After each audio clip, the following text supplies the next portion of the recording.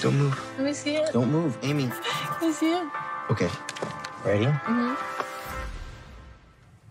I love it. That's super sweet because it's terrible. oh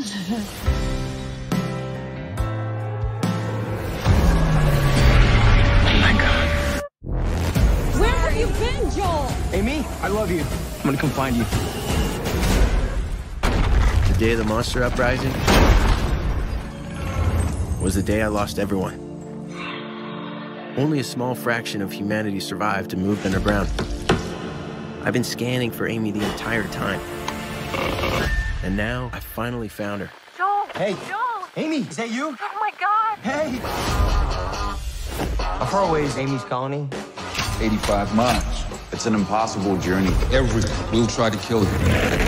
Don't fight. Just run and hide. Uh, okay.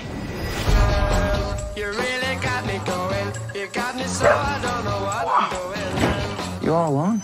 Me too. You don't have to talk about it. They got me now. You wanna come with me? So I can't at night.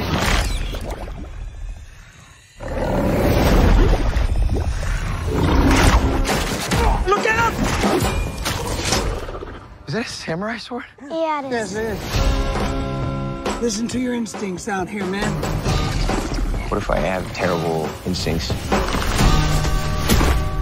You'll die. Super encouraging speech. Love and Monsters.